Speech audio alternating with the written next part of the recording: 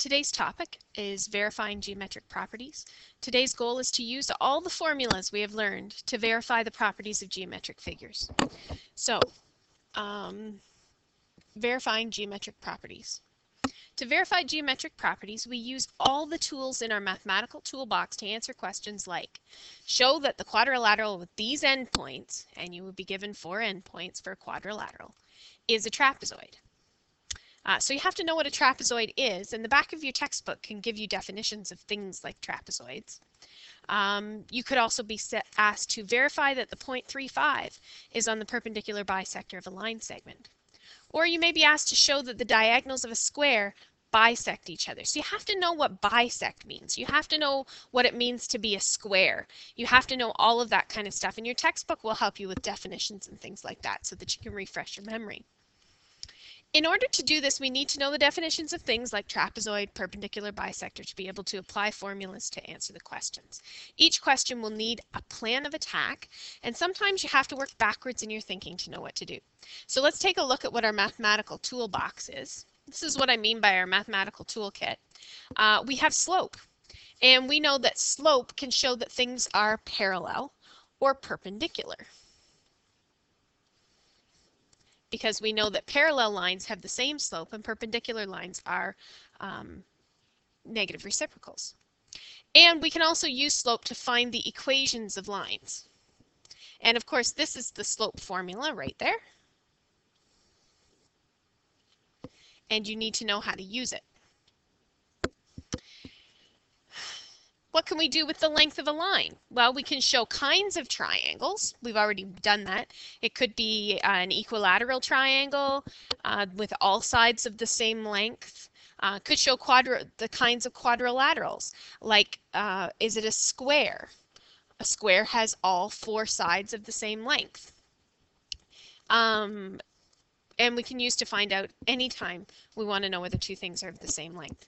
And so we have the length of line formula is another one of things in our toolkit. Midpoint is used to find the middle of something. And since bisect means to cut in half, midpoint is used anytime it talks about bisection. And of course, we have the midpoint formula right there. And lastly, we have equations. Uh, equations can be used to find slope. If I'm given the, an equation of a line, I can rearrange it and figure out what the slope is. Um, we can use it to find points, find out if points are on a line. If we sub it in and it works, then the points are on a line. And we have various um, forms for the equation of a line. The one that's going to be most useful to us is that one there because it helps us find the equation of a line in standard form. And of course, you need to know good old y equals mx plus b that gives you slope and y-intercept. So now let's take a look at a couple of questions that we could be asked. Example 1 says, find the perpendicular bisector of the line segment with endpoints 5, negative 4, and negative 7, 8. So we need to know what it means to be a perpendicular bisector. A perpendicular bisector is a line that cuts the center of a line segment. Okay, so that the two halves of the line segment are of equal length, and since it's perpendicular, it's going to cut it at a 90 degree angle. So that's the perpendicular bisector. So I've just got this little diagram here. I'm going to put on, say this point is 0.5, negative 4, and this point over here is negative 7, 8. If we want to show that something is on the perpendicular bisector, or if we want to find the perpendicular bisector, which is just a line, we have to find slope and we have to find a point. So anytime we're asked to find the equation of a line, we need slope and a point. Now, since this line uh, passes through the center of the line segment, we know that a point on it will be the midpoint of the line segment. And since it is perpendicular to the line segment, we know that the slope of this line we're looking for will be the negative reciprocal of our line segment. And so that's actually our plan of attack. We're going to find slope and a point, and I know how to find the point. It's, it's this one, right in the middle of the line segment. And I know how to find the slope. It's going to be the negative reciprocal of our line segment. And then I need to sub slope and a point into my handy slope point formula. So we're going to do that right now. We're going to say finding slope.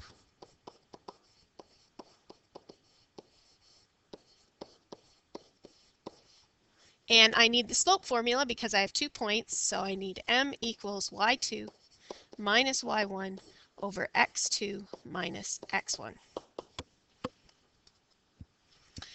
So the slope of our line segment is negative 1. That means that the perpendicular slope will be positive 1. That's a nice slope to work with. Now we have to find a point. Find a point. And we know that the line we want passes through the middle of our line segment because it bisects it. It's called the perpendicular bisector.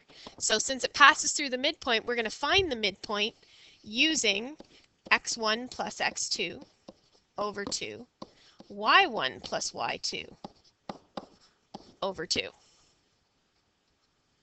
So after using the midpoint formula, I find that the line I'm looking for actually has a point of negative 1, 2. So now we say using um, negative 1, 2,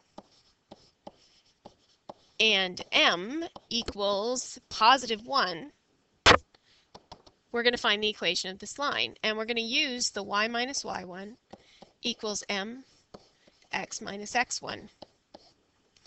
So y minus y1, here's my y1 down here, y minus 2 equals m is 1 and x minus x1, well x1 is negative 1 so minus negative 1 is plus 1. And now there's no fractions to clear so I just need to get rid of the brackets and rearrange to standard form. And add 2 to both sides, so I get plus 3 on this side. So there is the perpendicular bisector of that line segment.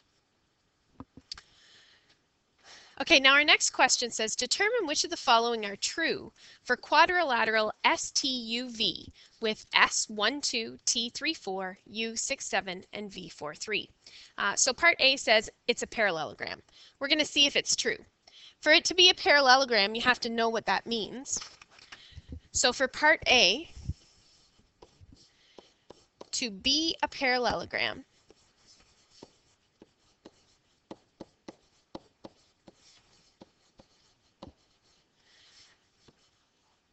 opposite sides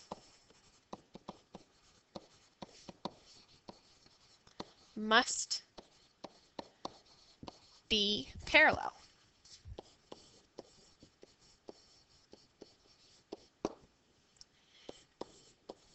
Parallel lines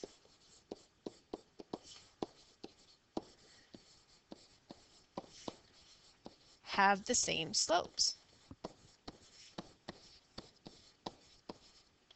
So opposite sides must have the same slopes.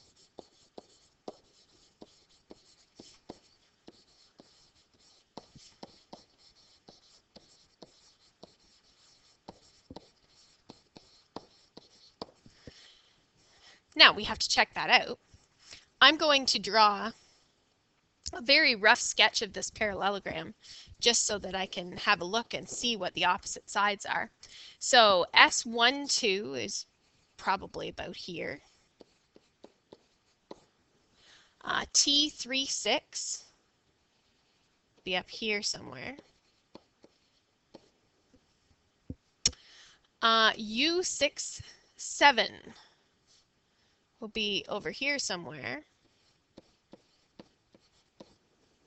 And V43 would be here somewhere. So here's a rough sketch of our parallelogram. And now we have to see that opposite sides are parallel, so we have to see if opposite sides have the same slope. So finding the slopes.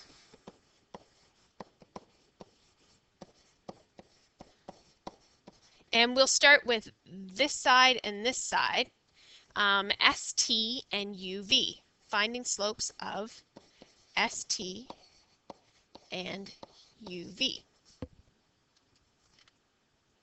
So after doing our calculations, I can conclude that since they have the same slopes, they both have a slope of 2, uh, m of the side st is equal to m of the side uv.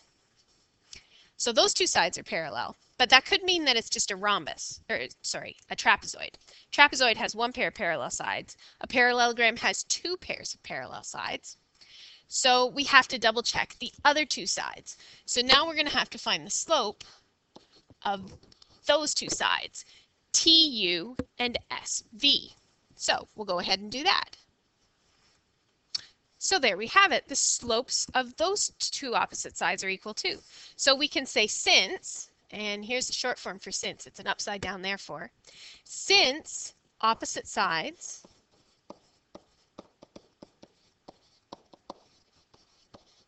have the same slope, this is a parallelogram.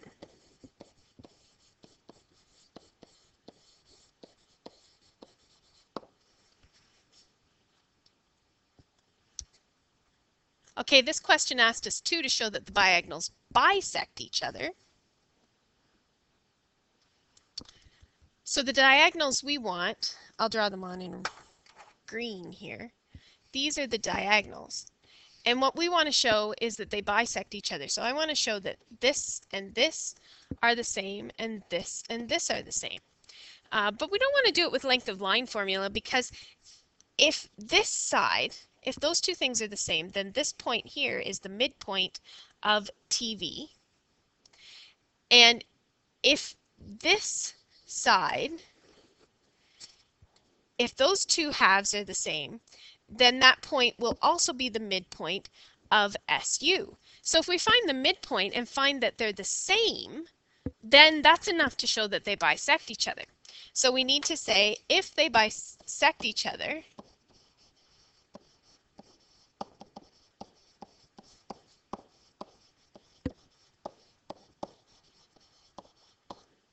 they will share a common midpoint.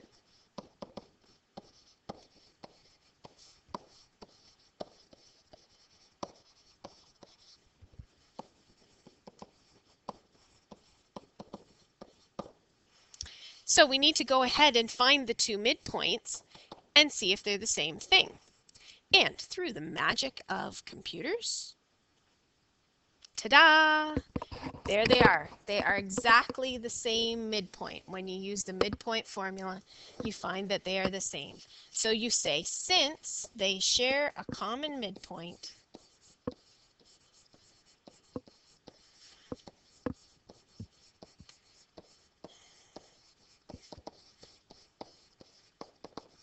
they must bisect each other.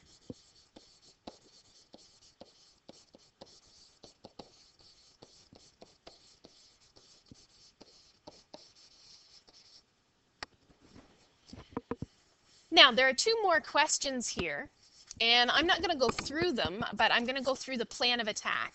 And yes, I want to see this point form plan of attack every time you do a question. For part C, it says the diagonals are perpendicular to each other. We have to see if that's true. And in order for them to be perpendicular, we know that their slopes are negative reciprocals. So your plan of attack would be if they are perpendicular,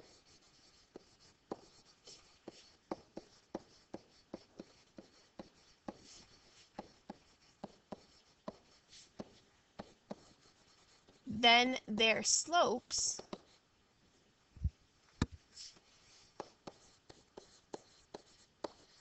will be negative reciprocals.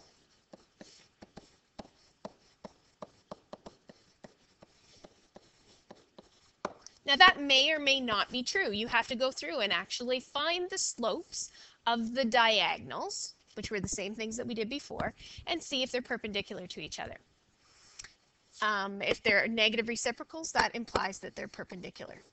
And part D says STUV is a rhombus. Well, you have to know what a rhombus is. A rhombus is a four-sided figure with all side lengths the same. And yes, that sounds like a square, but a square is a special case of a rhombus where all of the four corners are also 90 degrees. So if it is a rhombus,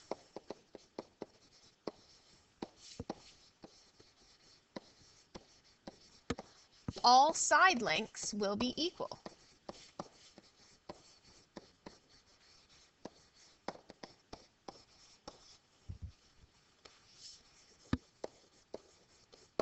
That's just the definition of a rhombus. A square is a special rhombus, but if it's a square, it will be a rhombus as well. So you need to go through and find the lengths of all four of those sides, ST, TU, UV, and VS, and see if they're all the same length. And if they are, then it's a rhombus. If they're not, it's not a rhombus, plain and simple. So uh, I'm going to leave those to you. You should try those ones out on your own. Um, and we'll maybe talk about it in class. And that concludes today's lesson.